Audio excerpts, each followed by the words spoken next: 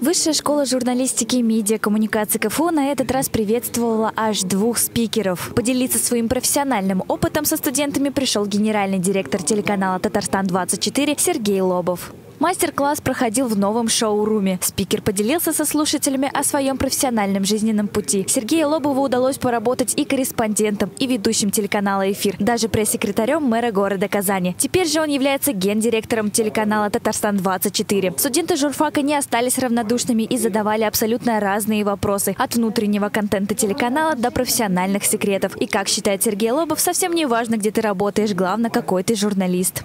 А круговорот журналистов э, в природе – это ну, абсолютно адекватная вещь. Сегодня он может работать на 2 четверки, завтра на ГТРК, послезавтра на ТНВ, а послезавтра на Москве 24 или на Первом канале.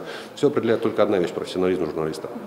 Человек, который хорошо делает свою работу, который э, знает, чего он хочет добиться в результате, и которого есть необходимый опыт, знания и умения, чтобы делать эту работу.